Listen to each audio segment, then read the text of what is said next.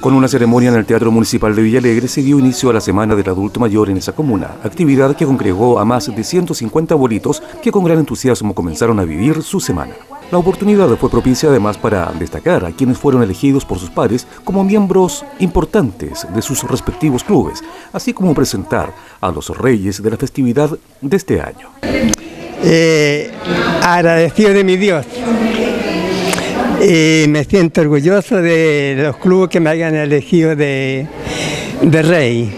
Al que venga el año venidero, que sean ricas bendiciones para él también. Si yo he sido malo, él sea mejor que yo.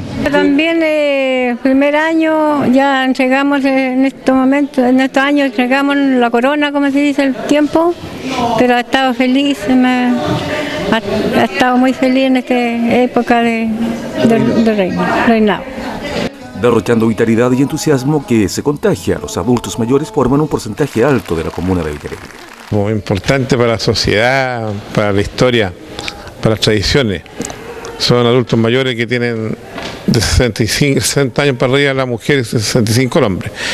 Habiendo la mayor de ellas una abuelita de 97 años. Yo quiero contar esto porque ella tiene 97 años y tiene cuatro hijas que ya tienen más de 60. Son las cinco adultos mayores, adultas mayores de un mismo club, que se llama la Amistad de Certeneja. Y creo que eh, es importantísimo poder reconocer a adultos mayores porque ellos nos han legado a nosotros, nos han enseñado todo y además se merecen un reconocimiento porque han entregado la vida a los demás.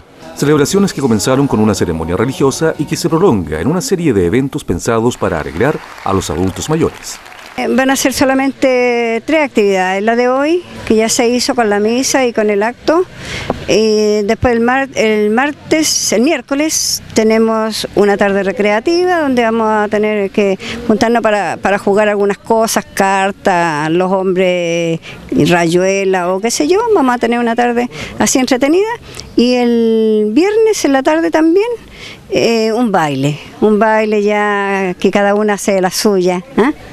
Una cosa así, no es muy grande la actividad que vamos a tener, pero siempre son entretenidas y simpáticas porque la gente lo pasa bien. Y eso es en definitiva lo más importante, que ellos sepan que son los reyes y reinas de Villalegre, no solo durante una semana, sino que todo el año.